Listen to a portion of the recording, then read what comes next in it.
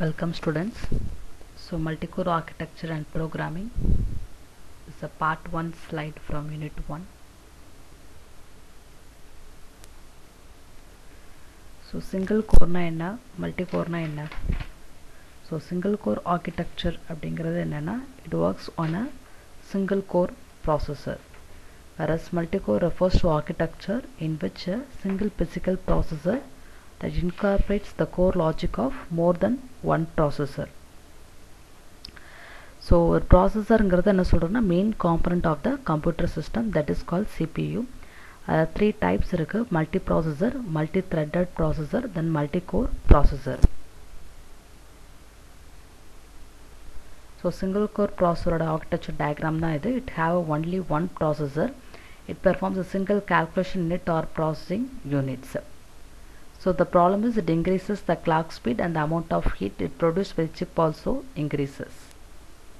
The multi-core processor it uses a two or more cores to process the instruction at the same time by using the hyper-threading. So அதில் என்னென்ன டைப்ஸ்னா dual core, tri-core, quad core, hexa-core, octa, deca. So this is the architecture diagram that represents the multi-core processor which have more than one cores the communication performed between the bus interface.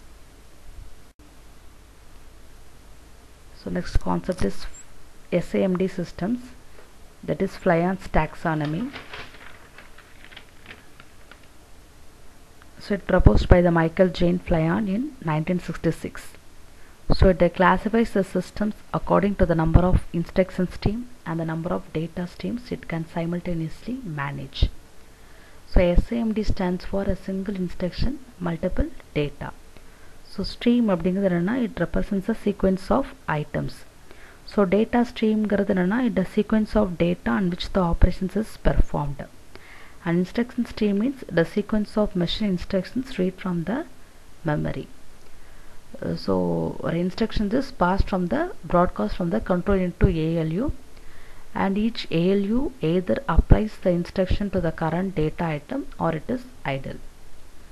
So ஒரு example vector addition எடுத்துக்கிட்டோம் அப்படின்னா அந்த addition ஆப்ரேஷனை single that is X of I equal to X of I plus Y Y of ஐங்கிற அந்த single instructions வந்து multiple டேட்டாவில் operate ஆகி என்ன பண்ணும் அவுட்புட் கொடுக்கும் so the instruction is same it performs operations on a multiple data item that is example for single instructions multiple data So vector processor தான் என்ன சொல்கிறேன்னா அரே ப்ராசஸர் அப்படின்னு சொல்கிறோம் it can operate on array or vector of data so vector ரெஜிஸ்டருங்கிறது it capable of storing vector of operands which can range from four to one twenty eight sixty four bit elements அதுமாதிரி scalar processor அப்படிங்கிறதுனா it's individual data element operate ஆகிறது scalar processor அப்படின்னு சொல்லுவோம். Vectors of டேட்டாவில் operate ஆகிறது என்ன சொல்கிறோம் vector processor அப்படின்னு சொல்கிறோம் that is array of data So vector instruction these are the instructions that operate on the vectors rather than scalars. The interleaved memory the memory is divided into set of banks and which allows the simultaneous access of memory. So strided memory the program accesses elements of a vector located at a fixed interval. So scatter and gather it performs scatter performs the writing to the memory then gather reading from the memory so it performs both writing and reading elements of a vector located at irregular intervals. Next GPU that is GPU real time API. It uses points, lines and triangles to internally represents the surface of an object. So it uses a graphic processing pipeline to convert the internal representation into array of pixels that can be sent to a computer screen so in GPU பார்த்தீங்கன்னா ஒரு processing a single require a very large amount of data so it needs to maintain a very high rates of data movement so in order to avoid the stalls and memory losses, it relies heavily on a hardware multi-threading. So next concept is uh, shader functions. The shader functions means this is used to specify the behavior of the programmable stages. So next one is MIMD systems that is multiple instructions, multiple data. So it support uh, multiple simultaneous instruction streams operating on a multiple data stream. So there are two types there is a shared memory systems and distributed memory systems. So shared memory system means a collection of autonomous processor that is connected to a memory system by way of an interconnection network and each processor can access each memory location and the communication is done implicitly by accessing the shared data structures so அதில் two types இருக்குது யுமா and டுமா so யுமாங்கிறது uniform memory Asus and யுமாங்கிறது நான் uniform memory Asus So this is architecture diagram of the uniform memory access and a non-uniform memory access. So UMA it connects all the processor directly to the mem main memory and means it can directly connect each processor to different blocks of main memory. So here the processor can access each other block of memory through a special hardware built into the processor. Next, distributed memory system. Here each processor is paired with its own private memory and the processor memory pairs communicate over an interconnection network. So here the communication is done explicitly by sending messages or by using a special functions. So next concept is interconnection network which plays an important role in the performance of both the distributed and the shared memory systems.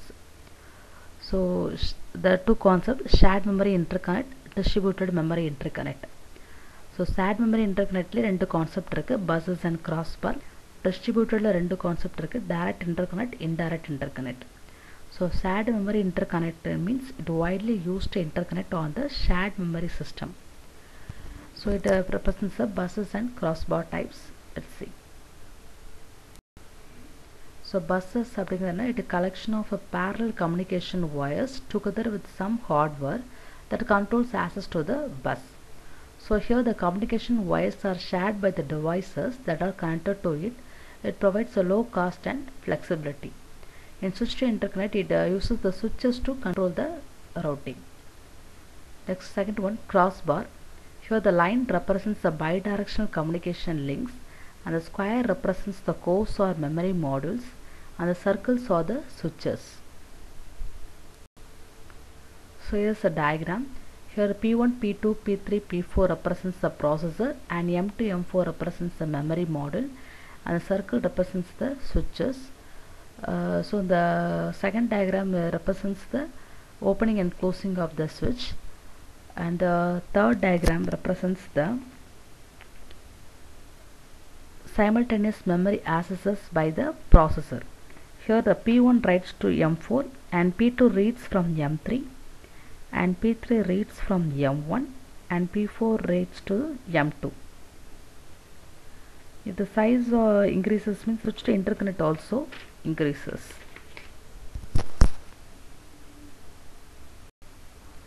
Then distributed memory interconnect.